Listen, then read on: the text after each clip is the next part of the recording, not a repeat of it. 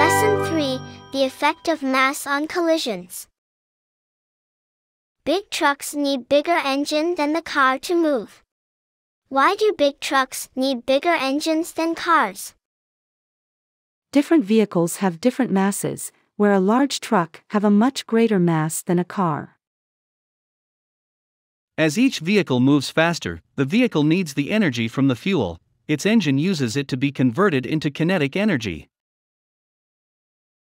The bigger the mass of the vehicle, the more fuel it consumes, and the more kinetic energy it gains. If a large truck traveling at the same speed as a car, the truck has more kinetic energy than the car. Can you explain more? If the mass of an object doubles, its kinetic energy at a certain speed also doubles. So, a 1 ton truck has half the kinetic energy of a 2 ton truck traveling at the same speed. This is why a large mass vehicle causes more damage when it hits something than a small mass vehicle traveling at the same speed. If a pedestrian hit by a bicycle with a speed of 50 kilometers per hour, he will most likely survive. And if a car hits him at that speed, it may endanger his life.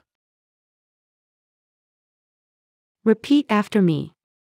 Big trucks need bigger engine than the car to move. Big trucks need bigger engine than the car to move. The bigger the mass of the vehicle, the more fuel it consumes, and the more kinetic energy it gains. The bigger the mass of the vehicle, the more fuel it consumes, and the more kinetic energy it gains. Pedestrian. Pedestrian.